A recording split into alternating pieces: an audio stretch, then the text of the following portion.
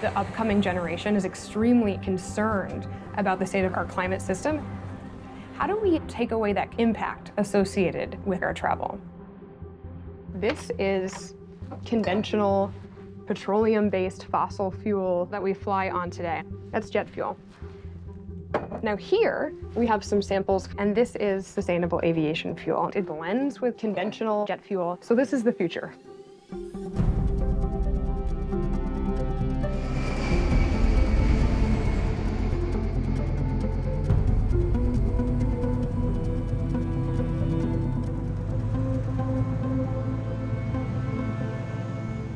So here we have our signed climate pledge letter from December 2020. I remember sitting in that meeting room with Robin, our CEO, and I gave him this whole pitch about why we needed to sign it. And then I said, So what do you think? And he said, Sarah, I signed it when I first walked into the meeting.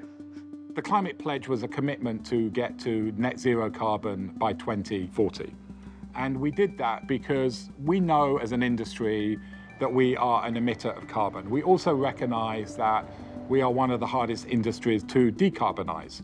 In January 2020, we announced we were going to be the first airline in the US to voluntarily offset all of our domestic emissions and also to fly regularly on sustainable aviation fuel from our partner Neste out of San Francisco International Airport.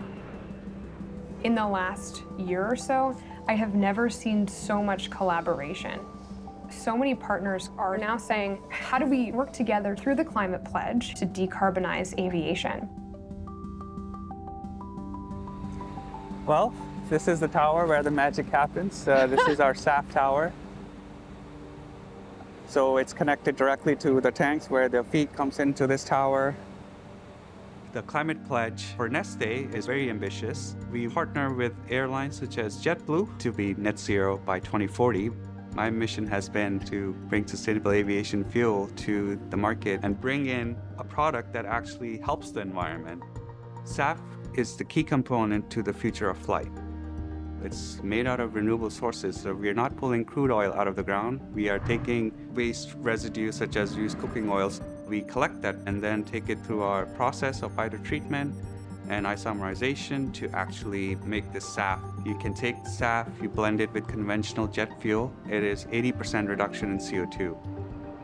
So this is a renewable fuels facility. Yes. It feels pretty powerful to be standing on one of the very few renewable fuels plants. Yeah, exactly. This is how we can make the change that we Yeah. need.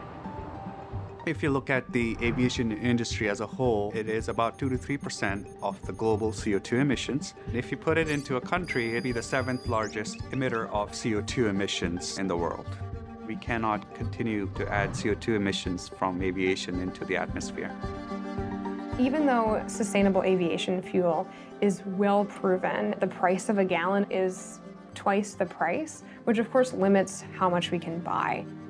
We as an industry have been supportive of additional incentives to bring down this price premium. The cheaper it is, the more that we can buy. You've heard of the phrase chicken and egg, and I feel that that is where we are with SAF today. The airlines want it, but we know to really kickstart SAF production, it's also going to require support from government.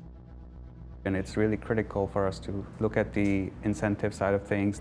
And that's where Port Authority can also play a very big role, so on the advocacy side as well. And you have a lot of room to grow the Houston uh, refinery? Because we need more SAF, Yeah. you know, we need more SAF. Our we need it now. We want to get into New York, we want to get into all of these major airport areas to be able to use this fuel and start decarbonizing this industry. Um, we're going to check out one of our Airbus 321 aircrafts. My dream has always been to become a pilot. I remember being really small and looking up at aircrafts with my parents and saying, someday I'm going to be working in this industry. This is like first time I'm in the cockpit, so Yeah? I'm kind of like a kid in the toy store right now. How does it feel? Do you It feel like you can see yourself amazing. here? Feels amazing. Thank you so much. Yeah. Air travel is very dear. It connects people. You can go explore the world. When I'm above the clouds, it really puts everything into perspective. There's many people just like me. We all are responding to the reality of our climate crisis, and we can work together to be a part of a solution.